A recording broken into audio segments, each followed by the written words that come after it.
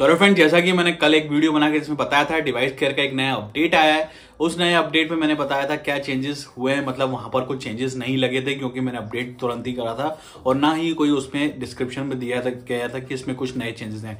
आज मैं आपको बताने वाला हूँ, उस अपडेट के बाद जो कि मुझे चेंज लगा। हो सकता है आपके जिस आप में से जिन लोगों ने इसको अपडेट कर लिया, उनको भी ये लगा होगा। तो ये नया चेंजेस क्या है या फिर बोल सकते हैं, क्या ये मुझे चेंज लगा? आगे आपको वीडियो में बताने वाला हूँ। वीडियो उसकी मत करिएगा वीडियो पूरा देखिएगा तो ये आप समझ पाएँगे। चलते हैं आगे। मेरा नाम सनियर और आपका स्वागत है मेरे चैनल ऐसे टेक में। तो दोस्तों जैसा कि मैंने बताया कि मैं डिवाइस करके नए फीचर के बारे में बताने वाला हूँ, जो कि मुझे लगा है उस अपडेट के बाद वहाँ पर चेंज किया गया है।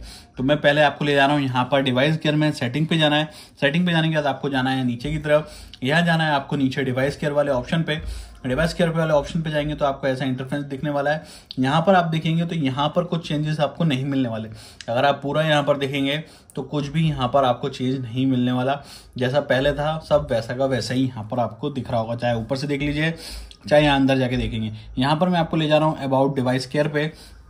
यहाँ ले जाने के बाद आप देखेंगे मैंने ऑलरेडी लेटेस्ट वर्जन पे हूँ और मैं यहाँ पर क्लिक करके इसको आपको ले जा रहा हूँ गैलेक्सी स्टोर में कि आपको बता दूँ कि ऑलरेडी मैंने इसको अपडेट करके रखा हुआ है। आप देखेंगे डेट आपको एक तारीख दिख रही होगी मतलब कि अपडेट डेट यहाँ पर ये दिख रही है आपको। ठीक है? उसके बाद मैं कर लेता हूँ इसको ओपन ओपन करने में तो कुछ भी नहीं दिया। यहाँ पर जो मेजर चेंजेस दिया गया है या बोल सकते हैं, नया फीचर दिया गया है, वो है नोटिफिकेशन पैनल पे। जैसे ही आप इसको अपडेट करेंगे तो आपको ऊपर आई पे देखेंगे ऐसा एक नोटिफिकेशन मिलेगा। कैसे?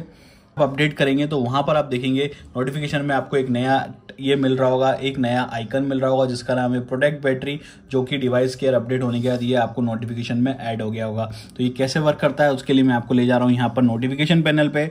यहाँ पर आप देखेंगे यहाँ पर आपको मिलेगा बैटरी प्रोटेक्टेड वाला। आप देख रहे होंगे, आपको सिंपली इसको ऐड करने के लिए यहाँ जाना है एडिट बटन पे क्लिक करना है, ऊपर आपको मिल जाएगा एन पे आपको नीचे उसको टैप करके यहाँ पर लाना है।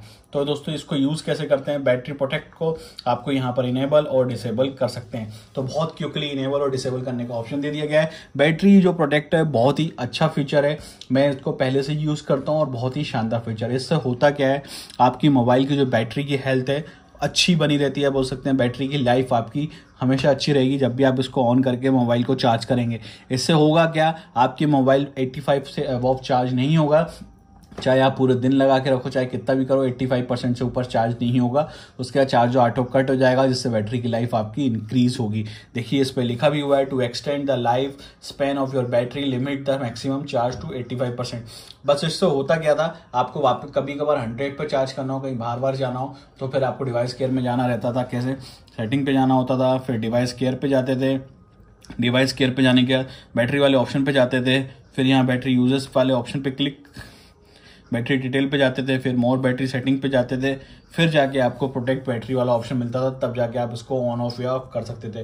तो बहुत ही लंबा मेथड था। तब उन्हें इसको क्यूक दे दिया? अब आपको ये नोटिफिकेशन पैनल पे मिल जाएगा, या फिर बोल सकते क्यूक पैनल पे ही आपको इसका टैब मिल जाएगा।